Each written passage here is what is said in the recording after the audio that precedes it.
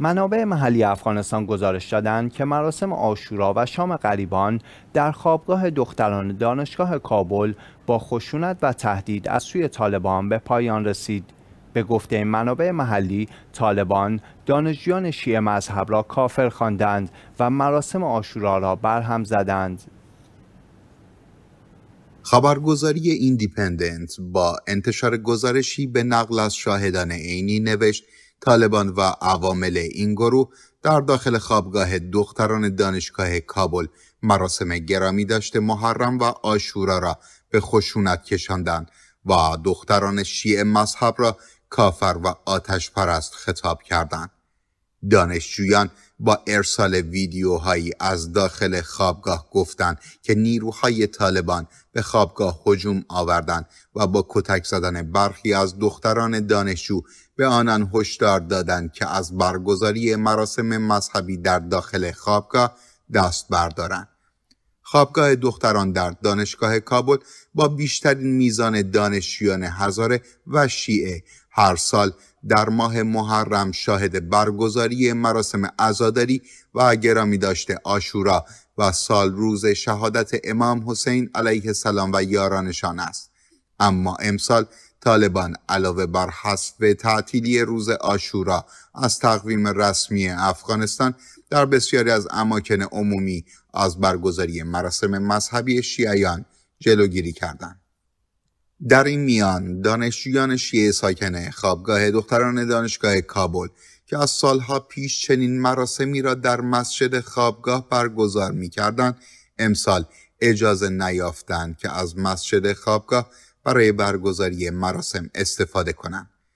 اما به رغم ممانعت مدیر خوابگاه و بستن در مسجد به روی آنها دانشجویان شیعه در طول دوشنبه 17 مرداد ماه و شامگاه آن روز مراسم خود را در راه روهای خوابگاه برگزار کردند. این اقدام دانشجویان به کشمکش های شدید بین آنان و مسئولان خوابگاه انجامید و خبر به گوش اداره اطلاعات طالبان رسید. یکی از دختران دانشجو که شاهد عینی ماجرا بود در این باره گفت افراد مسلح طالبان با خشونت وارد خوابگاه شدند و با حمله به دانشجویان برخی از آنان را مضروب کردند.